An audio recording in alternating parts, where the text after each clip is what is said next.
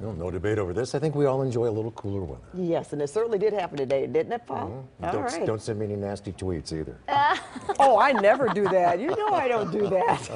And I hope people don't send me nasty tweets because we're looking at cooler conditions. Not us. all like- Yeah, I Not know. us. No way. Well, just in case, you know, have to put it out there. All right, so live look, this is our Santa Monica cam. We have more of the clouds starting to stream overhead, and that marine layer will gradually increase as we head into the next couple of days. So cooler conditions definitely today compared to yesterday. Yesterday we had temperatures at 91 for downtown LA. Today we finally cooled down to about 83. So yeah, it's much cooler than yesterday, but still felt a little bit warm.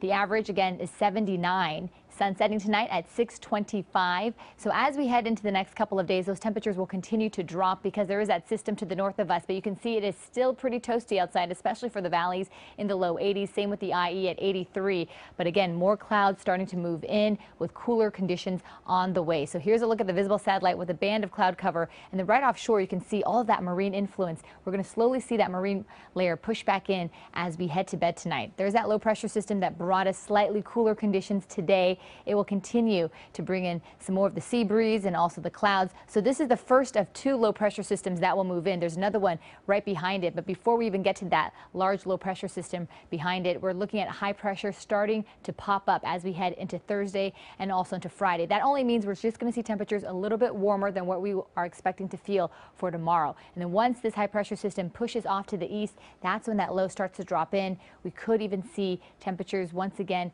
below average. Actually, it's going to stay below average all week from here on out, but we could even see maybe some sprinkles being squeezed out of the cloud cover as we head into the weekend. Otherwise, tomorrow 84 for Chatsworth, 74 for Gardena, 75 for West Covina, 73 for San Juan Capistrano, low 80s tomorrow for the IE. So again, temperatures definitely staying below average, not just tomorrow, but as we head into the weekend. And so the IE conditions are also going to stay slightly warmer than what we're feeling for the coast, but definitely much cooler than it has been.